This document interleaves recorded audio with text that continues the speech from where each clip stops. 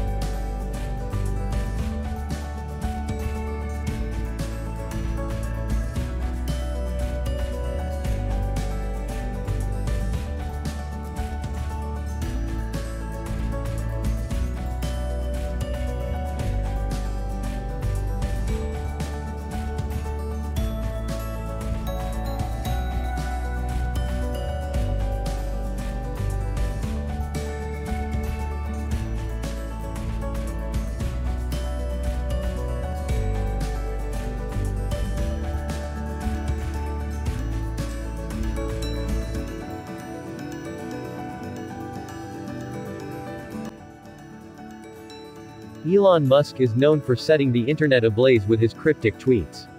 Now he's doing it in another language. The Tesla TSLA and SpaceX CEO tweeted an ancient Chinese poem Monday night. It's not clear what reference Musk intended, but the tweet, which was titled, Humankind, included a composition known as the Quatrain of Seven Steps. The poem is famous in China, and refers to a spat between brothers.